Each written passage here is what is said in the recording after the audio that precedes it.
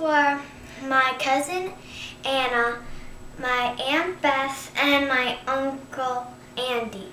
Um, for my birthday, I used my $25 check for um, blankets so we could, for um, needy children and some for my friends, like this one.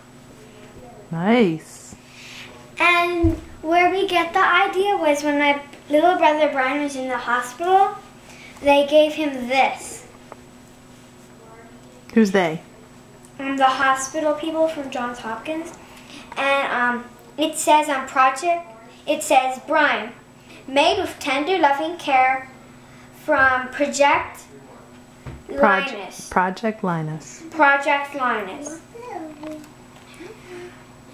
Providing security through blankets. www.projectlinus.org.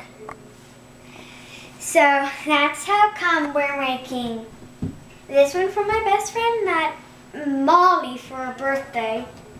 This one for Maddie's little sister Ellie. We still haven't ch- chosen out one for Anna. Um, this one's for um, uh, charity. This one's for charity. This one's for charity. And this really cute one's for charity, unfortunately. And we're gonna choose one for Annie. And this one's so,